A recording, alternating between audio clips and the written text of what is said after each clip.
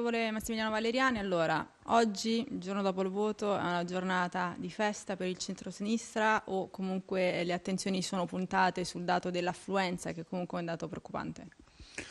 No, oggi è un giorno di grande soddisfazione, noi aspettavamo questo momento da, da cinque lunghi anni, speravamo in un successo, sicuramente l'entità di questo successo ha colto di sorpresa anche noi perché ha del clamoroso la vittoria al Campidoglio con eh, Marino, ma anche la vittoria contemporanea in tutti quanti i municipi della città. Il sindaco, eh, sappiamo tutti che il ruolo del sindaco è quello di essere un po' il garante di tutti i cittadini. Ignazio Marino è stato scelto però oh, da, diciamo così, da, meno della metà dei romani aventi diritto, allora riuscirà in qualche modo appunto a rappresentare un po' tutti i cittadini?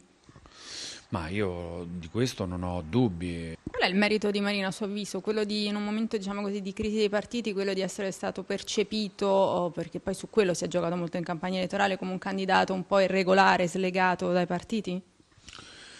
Sì, Marino viene percepito come una persona per bene legata più che altro a, al suo percorso di vita piuttosto che a intrecci partitocratici o di componenti di partito. Questo sicuramente ha giovato in positivo per la sua corsa elettorale. Crede adesso che nella formazione della squadra di governo della giunta di Marino si creerà qualche tensione perché Marino ha sempre rivendicato di essere in qualche modo un candidato eh, un po' indipendente, perciò di voler fare una giunta di tecnici, società civile e di lasciare poco spazio eh, in qualche modo alla politica e ai partiti?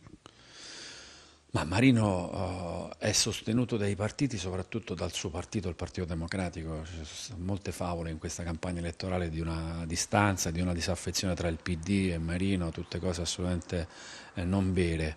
Marino è il Partito Democratico, Marino rappresenta il centrosinistra e Marino saprà coniugare le esigenze eh, diciamo, della sua maggioranza con le esigenze della città, dell'amministrazione, quindi attingere a quelle personalità, a quelle competenze che servono in questo momento difficile della vita della nostra città. Quanto poi Nicola Zingaretti in qualche modo è stato l'asso nella manica di Ignazio Marino, quanto è stato determinante per la sua vittoria?